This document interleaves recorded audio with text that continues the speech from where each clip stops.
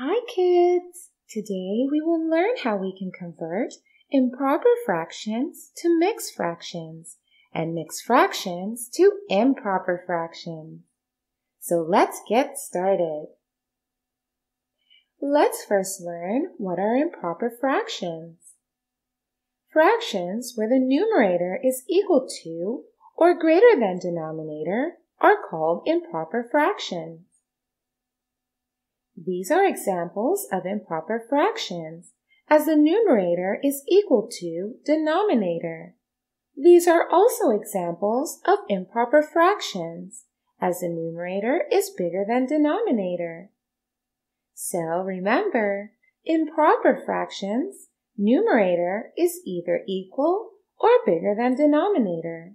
Any improper fraction can be converted to mixed fraction by dividing the numerator with denominator.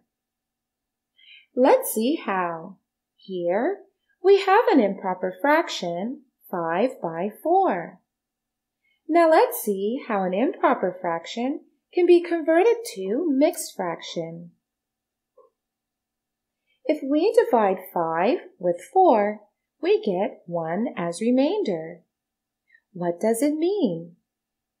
It means Suppose we have to distribute five apples among four children. Then each child will get one whole apple and one apple will be again divided among four children. And each child will get one fourth of that apple. So each child will get one whole apple and also a slice, which is one fourth of an apple we write the share of each child like this.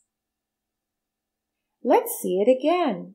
One quotient means one whole apple for each child. That is, each child will get one whole apple for sure. One remainder means one apple will be left, and that can be again divided among four children. That is, each child will also get a slice, which is one fourth of an apple. So, the share of each child is one whole apple and a slice, which is one fourth of an apple. So, 5 by 4 is same as 1, 1 by 4. Here, 5 by 4 was an improper fraction, and we have converted it to mixed fraction. Let's see more examples of how we convert improper fractions to mixed fractions. The next fraction is 8 by 6. We have to convert 8 by 6 to mixed fraction. Divide the numerator by denominator.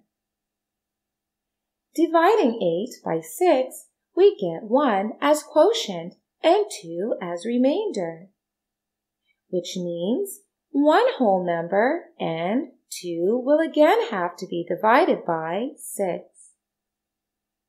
That is, if we have to divide 8 things among 6 persons, then each person will get one whole thing and a part, which will be 2 by 6 portion of a whole thing. So we can write it as 1, 2 by 6. So 8 by 6 is same as 1, 2 by 6. Let's see another example. Here is another improper fraction. 35 by 8, which implies dividing 35 objects among 8 persons. If we divide 35 by 8, we get 4 as quotient, which means each person will get 4 whole objects. We also get 3 as remainder, which means three things will again have to be divided among eight persons. So, if we divide 35 objects among eight persons, each person will get four whole objects, and remaining three objects will again have to be divided among eight persons. We write it like this. 4, 3 by 8. So this is mixed fraction 4 35 by 8.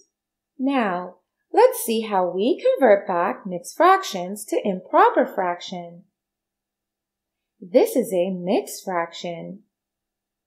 If we have to convert it to an improper fraction, denominator will remain the same. And for numerator, multiply denominator with the whole number and add numerator to it, like here.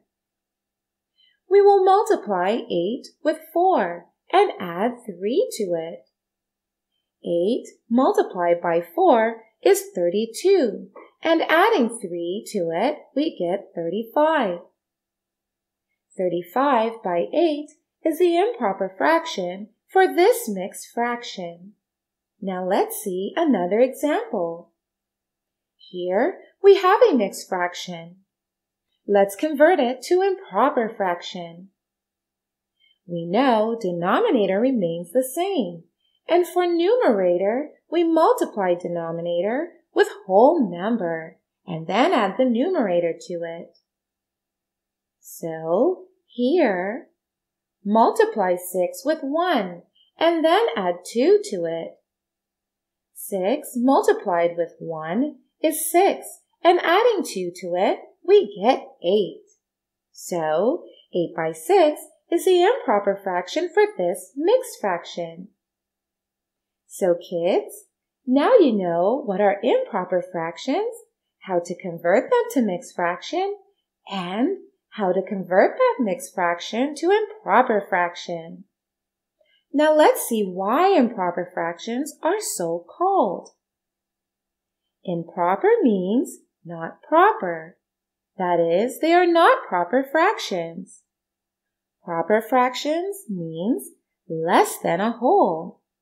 And improper fractions denote something which is not less than whole, but they represent something which is more than a whole. Okay, kids, now you may go ahead and take a quiz to learn more. Bye-bye.